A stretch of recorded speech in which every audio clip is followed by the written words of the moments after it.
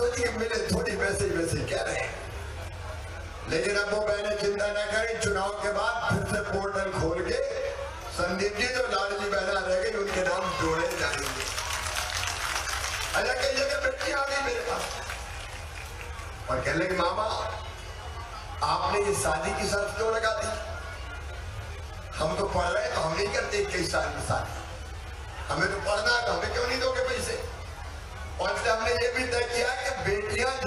इक्कीस साल से ज़्यादा उम्र है और शादी नहीं हुई उनके खाते में भी पैसा डाले जाएँगे। उनको भी जोड़ा हज़ार से शुरू किया था। अब साढ़े बारह सौ मिल रहे लेकिन साढ़े बारह सौ तक थोड़ी रहूँगा। पैसे की जुगाड़ कर रहा हूँ, जुगाड़। और जुगाड़ भी ज़्यादा करनी पड़ती है। क्योंकि एक करोड़ बत्तीस लाख बहनें हो गई हमारी। मैं दुनिया का सबसे भाग्यशाली भाई हूँ, जिसकी एक करोड़ बत्तीस लाख बहनें हैं। कौन होगा ऐसा ये सौभाग्य मुझे प्राप्त अरे, एक बार में पंद्रह हज़ार करोड़ रुपया साल भर में जाते हैं इतनी बहनों लेकिन अभी मेरा मन पूरी तरह से भरा नहीं है। बहनों की ज़िंदगी में कोई तकलीफ़ नहीं रहने देना। और ये पैसे की व्यवस्था होते ही है। साढ़े बारह सौ से बढ़ा के करेंगे पंद्रह सौ। फिर पंद्रह सौ से बढ़ा के करेंगे साढ़े सत्रह सौ। और साढ़े सत्रह सौ से बढ़ा के करेंगे दो हज़ार। दो से साढ़े बाईस सौ, फिर पच्चीस सौ, फिर साढ़े सत्ताईस सौ। और फिर कितने करेंगे? अरे ज़ोर से बोलो। कांग्रेसी बड़े परेशान है। उनको लगता है ये डेढ़ हड्डी का मामा कहाँ से आ गया बीच में तुमने मेरा श्राद्ध ही कर दिया। पोस्ट डाल दी कि मामा तेरा श्राद्ध हो गया। मैं का मर भी जाऊँगा तो राख के ढेर में से फिर उठ के खड़ा हो जाऊँगा अपनी जनता के लिए। लेकिन वो हमें गाली देने का काम करते लेकिन हमें अपनी जनता की ज़िंदगी बदलती है। मेरे भाइयों और बहनों, परिवार की का ज़िंदगी के सारे कष्ट दूर करना। और जब हमने तय किया मध्य प्रदेश की धरती पर मेरे जितने भी गरीब भाई और बहन हैं, जिनके पास रहने की जगह नहीं है, परिवार बड़े बड़े हो गए, दादा के चार बेटे, उनके चार चार उनकी बहुए घर में बन रही है। ऐसे लोग मेरे पास और तब हमने तय किया कि मध्य प्रदेश की धरती पर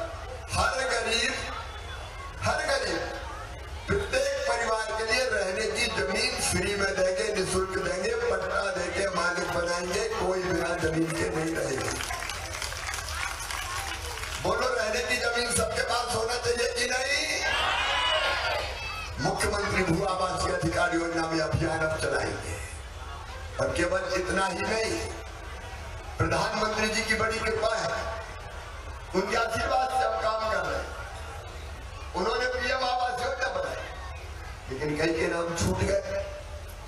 और इसलिए हमने तय किया कि पीएम आवास योजना में जिनके नाम छूट गए, उनके लिए सीएम लाडली बहना आवास योजना बनाएँगे और हर एक गरीब परिवार को पक्का मकान देंगे। कच्ची झोपड़ी में कोई नहीं रहेगा।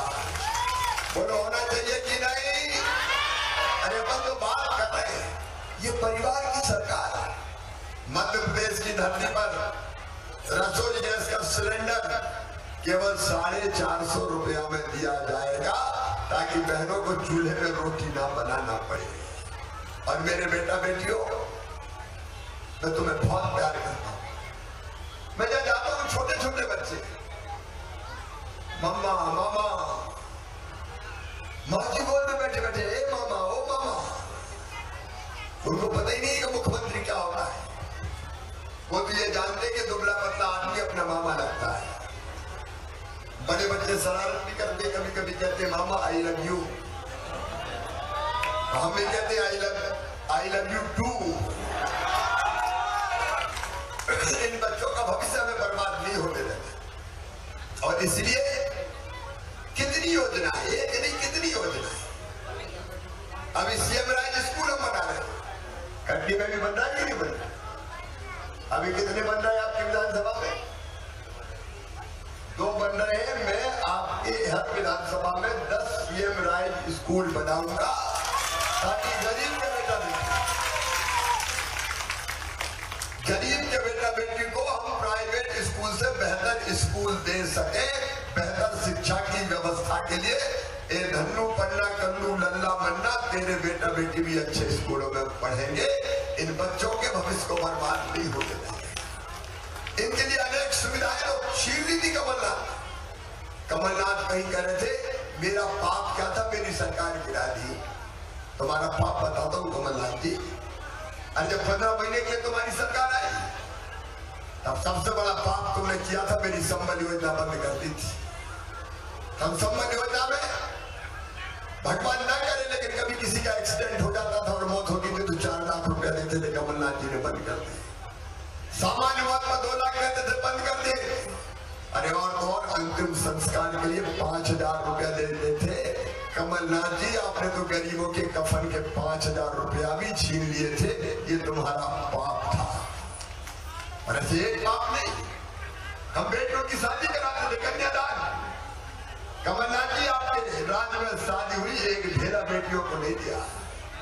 कमलनाथ जी, तुमने बेगा भाग्या सहरिया उन बहनों का एक हज़ार रुपया हम देते थे हर महीने वो बंद कर दिया। कांग्रेसियों और तो मेरे बच्चों के लैपटॉप छीन दिए तुमने लैपटॉप। तीर्थ यात्रा बंद कर दी।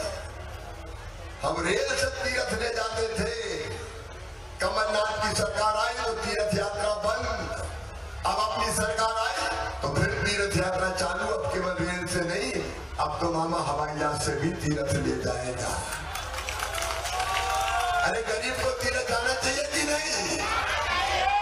कमलनाथ जी ने बंद कर दिया। पीएम आवास योजना में दो लाख मकान वापस करने का बात किया। किसान सम्मान निधि के नाम नहीं भेजे मुख्य प्रधानमंत्री जी को। कितने पाप बताऊँ? पूरे मध्य प्रदेश को भ्रष्टाचार का अड्डा बना दिया था। कमलनाथ जी, ये तुम्हारा पाप था और तुम्हारे पाप के बोझ से तुम्हारी सरकार गिरी थी। लेकिन बहनों, भाइयों अब तेज़ी से मध्य प्रदेश को आगे बढ़ाना है।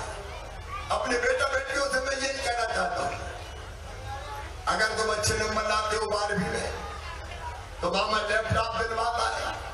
अपने स्कूल में नंबर वन बेटा और बेटी जो आते हैं, अब तो उनको स्कूटी भी दिला रहा हूँ, स्कूटी।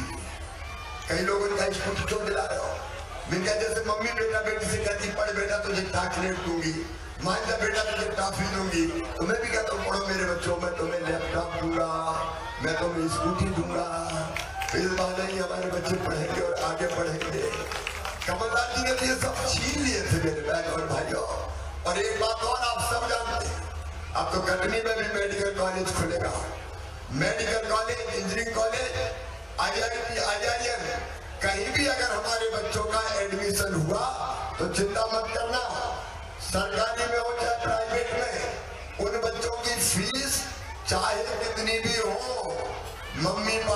नहीं कौन बनवाएगा? अरे ज़ोर से बताओ, कौन बनवाएगा? मामा बनवाएगा, भारतीय जनता पार्टी की सरकार बनवाएगी। हम बच्चों के आँखों के सपनों को मरने नहीं देंगे, इनके भविष्य को बेहतर बनाने के लिए हम सरकार चला रहे और एक बात और कहना चाहता हूँ, जो हमारा संकल्प अगले पाँच साल के लिए, प्रत्येक परिवार एक रोज़गार। ये हमारा संकल्प है। कहिए एक रोज़गार। प्रत्येक परिवार, ये हमारा अगले पाँच साल का संकल्प है। रोज़गार चाहे शासकीय नौकरी का, रोज़गार चाहे हेल्प ग्रुप के माध्यम से बहनों को दिलाने का। रोज़गार चाहे मुख्यमंत्री उद्यम क्रांति योजना या प्रधानमंत्री रोज़गार सृजन कार्यक्रम के माध्यम से हो, हर परिवार को एक रोज़गार उपलब्ध कराना है कराना है कराना है। और बहनों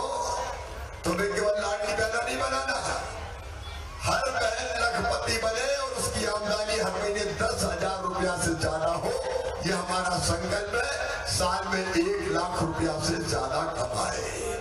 गरीब क्यों रहेंगे? आँसू क्यों बहाएँगे रोएँगे क्यों? हम भी आगे बढ़ेंगे, मजबूर नहीं रहेंगे, मज़बूत बनेंगे। और इसलिए पंद्रह लाख लखपति दीदी अभी मध्य प्रदेश में है। मैं हर बहन को लखपति दीदी बनाऊँगा। भारतीय जनता पार्टी की सरकार बने। आपकी ज़िंदगी बदलने के लिए हम काम कर रहे हैं। प्रधानमंत्री जी के आशीर्वाद से विकास की गंगा बह रही है। प्रधानमंत्री जी दुनिया के सर्वाधिक लोकप्रिय नेता है। उनका आशीर्वाद भी मिलता है और हम भी आपकी ज़िंदगी बदलने के अभियान में लगे हैं। और इसलिए आज मैं आपसे निवेदन करने आया हूँ। मेरे बहनों भाइयों, हमने अच्छी सरकार चलाई। मैं आपसे पूछना चाहता हूँ, हमने कैसी सरकार चलाई? अच्छी की बुरी। अरे और ज़ोर से बताओ। की बुरी संदीप ने जैसा काम किया अच्छा की बुरा तो बताओ, हमारी सरकार फिर से बननी चाहिए कि नहीं? और एक बात सुन लेना। आएगी नहीं, लेकिन कहीं कांग्रेस आ गई तो न लाडली रहेगी, न बहना रहेगी, सब खत्म। फिर मैं नहीं, तू नहीं, ये नहीं, वो नहीं, केवल कमलनाथ ही रहेगा। और इसलिए मैं सावधान भी कर रहा हूँ। इन सब कामों को आगे बढ़ाना है तो आइए फिर से भारतीय जनता पार्टी को आशीर्वाद दीजिए। संदीप जायसवाल, हमारे लोकप्रिय जुझारू कर्मठ और विकासशील विधायक रहे हैं। कटनी को विकास की दौड़ में काफ़ी आगे ले गए। और जब भी संदीप ने कहा, कटनी को ये काम चाहिए, हमने इनकार नहीं किया। और इसलिए मैं फिर एक बार प्रार्थना करने आया हूँ। मेरे बहनों और भाइयों, मेरे बहनों कोई चूक ना हो जाए, कोई चूक तो नहीं होगी। भारतीय जनता पार्टी को आशीर्वाद देंगे। कमल के फूल की बटन दबाएँगे। मेरी बहनें भी कलश ले लेके खड़ी है, मेरी बहनों। तुमने दीपक जला के इस भाई का स्वागत किया है। ये भाई तुम्हारी ज़िंदगी में अंधेरा नहीं रहने देगा।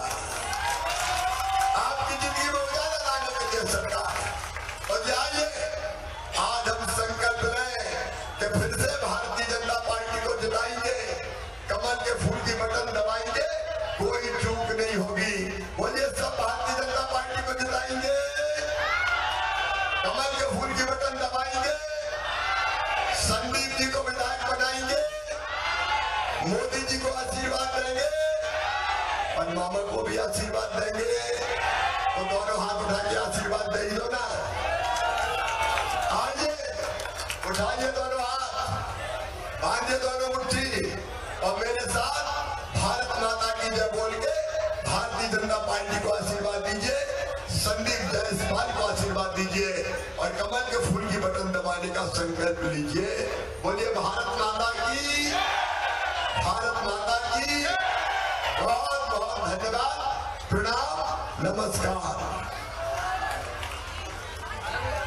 जल्दी से आ कर स्कूटी वाली बेटी। भाई से जल्दी बोलो।